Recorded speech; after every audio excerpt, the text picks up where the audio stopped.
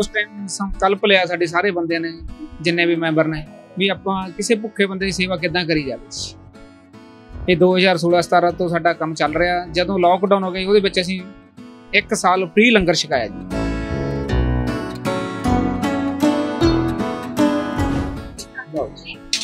ਲੋ ਮੈਨੂੰ ਇੱਕ ਕੜਛੀ ਚਾਵਲ ਦੀ ਹੋਗੀ ਤਿੰਨ ਪ੍ਰਸ਼ਾਦੇ ਹੋ ਗਏ ਜੀ। ਆਲੂ, ਸੋਇਆਬੀਨ ਦੀ ਸਬਜ਼ੀ ਹੋ ਗਈ ਜੀ। ਇਧਰ ਕੜੀ ਪਕੌੜਾ ਹੋ ਗਿਆ। ਸਬਜ਼ੀ ਰੋਜ਼ ਚੇਂਜ ਹੁੰਦੀਆਂ ਨੇ ਕਿ? ਹਰ ਰੋਜ਼ ਹਰ ਰੋਜ਼ ਹਰ ਸਬਜ਼ੀ ਦਾਲ ਸਬਜ਼ੀ ਚੇਂਜ ਹੁੰਦੀ ਹੈ ਮੈਮ ਠੀਕ ਹੈ ਜੀ। ਪਹਿਲਾਂ ਤਾਂ ਇਹ ਦੱਸੋ ਕਿ ਤੁਸੀਂ ਸੇਵਾ ਕਰ ਰਹੇ ਹੋ ਇੰਨੀ ਵਧੀਆ ਸੇਵਾ ਕਰ ਰਹੇ ਹੋ। ਦਸ- ਮਨ ਦੇ ਵਿੱਚ ਕਿਵੇਂ ਵਿਚਾਰ ਆਇਆ ਕਿ 10 ਰੁਪਏ ਦੀ ਥਾਲੀ ਜਿਹੜੀ ਹੈ ਲੋਕਾਂ ਦੀ ਸੇਵਾ ਦੇ ਵਿੱਚ ਲਾਉਣੀ?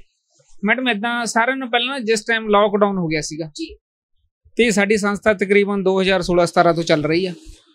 Jagannath food for life welfare society ਨੇੜੇ ਮੁੱਲਾਂਪੁਰ ਹਸਨਪੁਰ ਤੋਂ। ਜੀ। ਤੇ ਜੀਟੀ ਰੋਡ ਦੇ ਉੱਪਰ ਹੀ ਆ ਜੀ ਇਹ। ਉਸ ਟਾਈਮ ਸੰਕਲਪ ਲਿਆ ਸਾਡੇ ਸਾਰੇ ਬੰਦਿਆਂ ਨੇ ਜਿੰਨੇ ਵੀ ਮੈਂਬਰ ਨੇ ਵੀ ਆਪਾਂ ਕਿਸੇ ਭੁੱਖੇ ਬੰਦੇ ਦੀ ਸੇਵਾ ਕਿੱਦਾਂ ਕਰੀ ਜਾਵੇ। ਇਹ 2016-17 ਤੋਂ ਸਾਡਾ ਕੰਮ ਚੱਲ ਰਿਹਾ। ਜਦੋਂ ਲਾਕਡਾਊਨ ਹੋ ਗਈ ਉਹਦੇ ਵਿੱਚ ਅਸੀਂ ਇੱਕ ਸਾਲ ਫ੍ਰੀ ਲੰਗਰ ਛਕਾਇਆ ਜੀ। ਇਹ ਤੁਹਾਡੀ ਫਿਕਸ ਹੀ ਹੈ ਤੁਸੀਂ ਇਹ ਪੂਰੀ ਕੰਟੀਨ ਜੀ ਅਸੀਂ ਨਾ ਕਾਰਪੋਰੇਸ਼ਨ ਨੂੰ ਰੈਂਟ ਦਿੰਦੇ ਹੈਗਾ ਹਾਂਜੀ। 10 ਰੁਪਏ ਦੇ ਵਿੱਚ ਕੀ ਕੀ ਖਵਾ ਰਹੇ 10 ਰੁਪਏ ਦੇ ਮੈਂ ਵਿੱਚ ਮੈਡਮ ਇਦਾਂ ਇੱਕ ਕੜਛੀ ਚਾਵਲ ਤਿੰਨ ਪ੍ਰਸ਼ਾਦੇ ਇੱਕ ਦਾਲ ਇੱਕ ਸਬਜ਼ੀ। ਜਿਹਦੇ ਨਾਲ ਬੰਦਾ ਇੱਕ ਭੁੱਖਾ ਬੰਦਾ ਆਰਾਮ ਨਾਲ ਰੱਜ ਸਕਦਾ ਜੀ।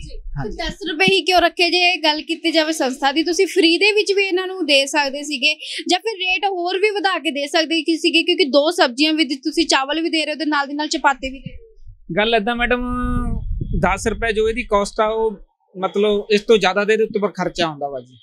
ਇੰਨੀ ਦੂਰ ਤੋਂ ਅਸੀਂ ਬਣਾ ਕੇ ਲੈ ਕੇ ਘੱਟੋ ਘੱਟ 20 22 ਕਿਲੋਮੀਟਰ ਤੋਂ ਦੂਰ ਤੋਂ ਆਉਂਦੇ ਆ। ਤੇ 10 ਰੁਪਏ ਇਸ ਲਈ ਰੱਖੇ ਆ ਵੀ ਹਰ ਕੋਈ ਬੰਦਾ ਜਿਵੇਂ ਫ੍ਰੀ ਲੰਗਰ ਲੱਗਿਆ ਹੁੰਦਾ ਜਿਹਨੂੰ ਨਹੀਂ ਵੀ ਲੋੜ ਹੁੰਦੀ ਉਹ ਵੀ ਲੈਂਦਾ ਵਾ ਖਾ ਕੇ ਜੇ ਨਹੀਂ ਵੀ ਖਾਦਾ ਜਾਂਦਾ ਸਿੱਟ ਦਿੰਦਾ ਮੈਂ ਵੇਸਟ ਕਰ ਦਿੰਦਾ। ਇਹ ਅੰਨ ਹੈ ਠੀਕ ਹੈ ਨਾ ਅਨਾਜ ਆ ਬਹੁਤ ਜ਼ਰੂਰਤ ਆ ਹਰ ਇੱਕ ਬੰਦੇ ਨੂੰ ਇਹਦੀ। ਤੇ ਇਸ ਲਈ ਤਾਂ 10 ਰੁਪਏ ਰੱਖਿਆ ਵਾ 10 ਰੁਪਏ ਵੈਸੇ ਦੀ ਮਤਲਬ ਕੀਮਤ ਹੈ ਨਹੀਂ ਗੀ ਮੈਡਮ। ਹਾਂਜੀ ਇਸ ਲਈ ਤਾਂ 10 ਰੁਪਏ ਰੱਖਿਆ। ਜਿਹੜੇ ਜਿਵੇਂ ਤਿਆਰ ਕਰਦੇ ਹੋ ਬਿਲਕੁਲ ਵਧੀਆ ਮਸਾਲੇ ਨਾਲ ਤਿਆਰ ਕਰਦੇ ਹੋ ਬਿਲਕੁਲ ਸ਼ੁੱਧ?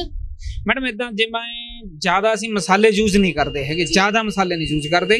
ਸਾਡੇ ਮਤਲਬ ਉੱਥੇ ਸੰਸਥਾਵਾਂ ਜਿੱਥੇ ਮੰਦਿਰ ਵੀ ਬਣਿਆ ਜਗਨਨਾਥ ਫੂਡ ਫॉर ਲਾਈਫ ਵਾਲਿਆਂ ਦਾ ਜਗਨਨਾਥ ਜੀ ਦਾ ਮੰਦਿਰ ਵੀ ਆ ਗਊਸ਼ਾਲਾ ਵੀ ਬਣਿਆ ਔਰ ਲੰਗਰ ਹਾਲ ਵੀ ਆ ਜੀ। ਜਿਹਦੇ ਵਿੱਚ ਘੱਟੋ ਘੱਟ 60 70 ਬੰਦੇ ਕੰਮ ਕਰਦੇ ਆ। ਵਿੱਚ ਪੇ ਵਾਲੇ ਬੰਦੇ ਵੀ ਆ ਉਹ ਬਾਕੀ ਆਪਣੀ ਮਰਜ਼ੀ ਹੈ ਜੇ ਕਿਸੇ ਨੇ ਨਹੀਂ ਪੇ ਲੈਣੀ ਸੇਵਾ ਕਰਨੀ ਸੇਵਾ ਵੀ ਕਰ ਸਕਦਾ ਹੈ ਮੈਂ ਕਹਿੰਨੀ ਇੱਕ ਵਾਰੀ 10 ਰੁਪਏ ਵਾਲੀ ਥਾਲੀ ਲਾ ਕੇ ਤਾਂ ਦਿਖਾ ਦਿਓ ਸਾਡੀ ਆਡੀਅנס ਨੂੰ ਤਾਂ ਦਿਖਾ ਦਿਓ ਵੀ 10 ਰੁਪਏ ਦੀ ਥਾਲੀ। ਆ ਜਾਓ ਬਟਾ। ਲਓ ਮੈਡਮ ਇੱਕ ਕੜਛੀ ਚਾਵਲ ਦੀ ਹੋਗੀ ਤਿੰਨ ਪ੍ਰਸ਼ਾਦੇ ਹੋ ਗਏ ਜੀ। ਆਲੂ ਸੋਇਆਬੀਨ ਦੀ ਸਬਜ਼ੀ ਹੋ ਗਈ ਜੀ। ਇਧਰ ਕੜੀ ਪਕੌੜਾ ਹੋ ਗਿਆ ਜੀ। ਅੱਛਾ ਸਬਜ਼ੀ ਰੋਜ਼ ਚੇਂਜ ਹੁੰਦੀਆਂ ਨੇ ਕਿ ਹਰ ਰੋਜ਼ ਹਰ ਰੋਜ਼ ਹਰ ਸਬਜ਼ੀ ਦਾਲ ਸਬਜ਼ੀ ਚੇਂਜ ਹੁੰਦੀ ਹੈ ਮੈਮ ਮੈਡਮ ਸਵੇਰੇ 4 ਵਜੇ ਤੋਂ ਬੰਦੇ ਆ ਜਾਂਦੇ ਨੇ ਦਾਲਾਂ ਸਬਜ਼ੀਆਂ ਬਣਾਉਂਦੇ ਨੇ ਤੇ ਮਸ਼ੀਨ ਦੇ ਉੱਪਰ ਰੋਟੀ ਬਣਦੀ ਆ।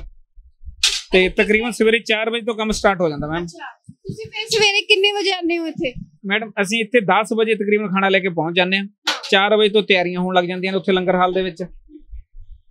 ਤੇ 10 ਦਾ- ਜਾਂਦੇ ਮੈਡਮ, ਅਸੀਂ ਨਾ 1:30 ਤੇ 2 ਵਜੇ ਦੇ ਵਿੱਚ ਵਿੱਚ ਇਹਨਾਂ ਆਲੇ ਦੁਆਲੇ ਫੈਕਟਰੀਆਂ ਨੂੰ ਛੁੱਟੀ ਹੁੰਦੀ ਹੈ ਜਦੋਂ।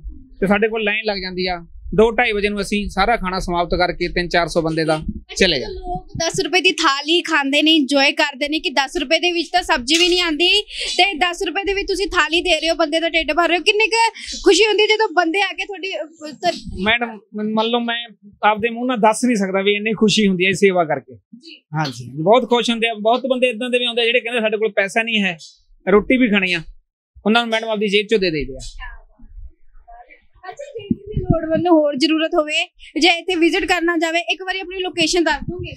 ਲੋਕੇਸ਼ਨ ਮੈਮ ਇਦਾਂ ਲੁਧਿਆਣੇ ਦੇ ਵਿੱਚ, ਢੋਲੇ ਵਾਲੇ ਚੌਂਕ ਦੇ ਵਿੱਚ, ਸਾਡਾ ਇਹ ਬੂਥ ਲੱਗਿਆ ਹੋਇਆ, ਨੇੜੇ ਦਾਦਾ ਮੋਟਰ।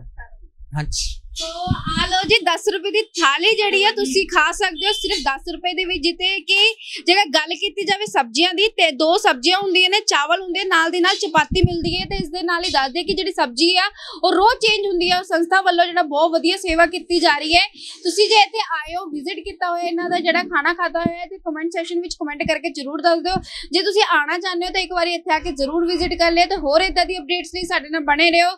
ਤੇ ਦੇਖਦੇ ਰਹੋ ਦ ਸਿਟੀ ਹੈਡਲਾਈਨ ਮੈਂ Neha Malik camera hundred percent wish ఉన్నారు